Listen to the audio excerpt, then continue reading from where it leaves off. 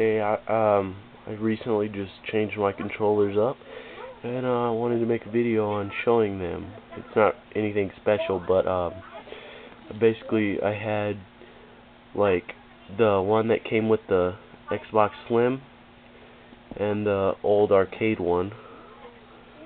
So um, I basically just took them both apart, uh, like take them apart with the, all these bolts and then just switched it up. Uh, just comment if you need a uh, help to take off the triggers and stuff like that because I know that I encountered a little problem on that. It was a little challenging. But um yeah, I took them apart. It does work. It will void your warranty, so do it at your own risk.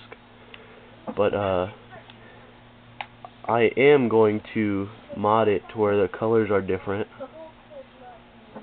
But, um, yeah. I also done that little alien thing on this one where you take off that metal piece right here. And it looks funny if my camera would focus, you'd be able to see it.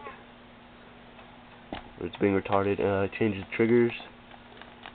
It's nothing special, but uh, I like I like this white one because it looks sick. Painted the buttons and all that. But uh, yeah, just comment if you need help and I will make a video later.